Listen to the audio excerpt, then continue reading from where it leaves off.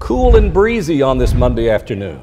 Let's get to Chief Meteorologist David Karnes. David. I would even say windy to start our work week, but feels nice outside though. Boy, what a wonderful weekend. Uh, we got to enjoy the nice chilly weather. Hopefully, even in the morning, you went out there just to feel how chilly it was and then you went right back inside to enjoy the warmth, right? Cloud cover, and a little bit, especially the further north you go. We're going to see some of these clouds working their way through. I'm going to call it a partly cloudy sky tonight. Going out for an evening stroll, no problems at all. 76 right now. We'll drop through the 70s, ultimately into the upper 60s by later this evening. Right now, 76. Look at the dew point. Very dry air still in place. And look at the wind. Winds out of the west southwest, 19 miles per hour. It is blowing pretty good out there. Uh, right now, 76 Chattanooga. 75 Dalton, Cleveland at 75, 70 and Murphy feeling good up in the Blue Ridge Mountains. Well, that 19 mile per hour wind is the uh, peak wind, sustained wind that we have being uh, showing up on the map here, but 11 miles per hour, all coming out of the south and southwest, 14 miles per hour in Fort Payne.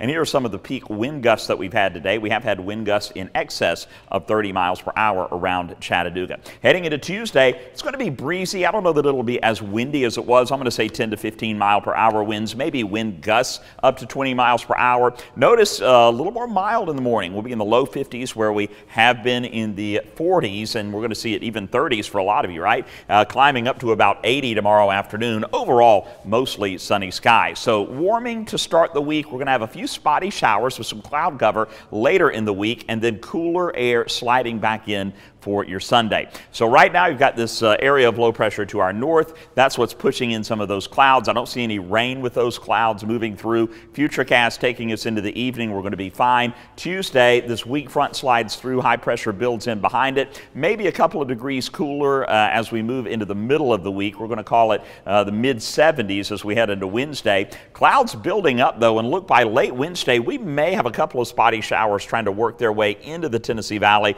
coming up from the south. Uh, chance of rain Wednesday, I'll put it at 20%. Thursday, I'll bump us up to about a 30% chance of spotty showers here and there. Notice the cloud cover. So we're going to have a lot of cloud cover, a few spotty showers here and there through Friday, even into Saturday, and then we'll have another shot of colder air moving in by next weekend, similar to last weekend. So partly cloudy, not as chilly tonight. Drop down into the low 50s. You'll still need a light jacket as you're heading out tomorrow morning. And then tomorrow afternoon, throw it away. 81 for the high. Mostly sunny, a bit breezy through the day. Those winds staying out of the southwest about 10 to 15 miles per hour. Cranking it up to 80 in Dalton, 80 in Scottsboro and Fort Payne, 77 Athens to 75 in Murphy. And your storm alert seven day forecast. Again, chances of a few spotty showers, the cloud cover, all of that will keep it a little bit cooler in the afternoon, but it's really Sunday into Monday when we see that next shot of colder air sliding in. Low 60s for our highs, lows dropping down into the 40s again by next Monday morning.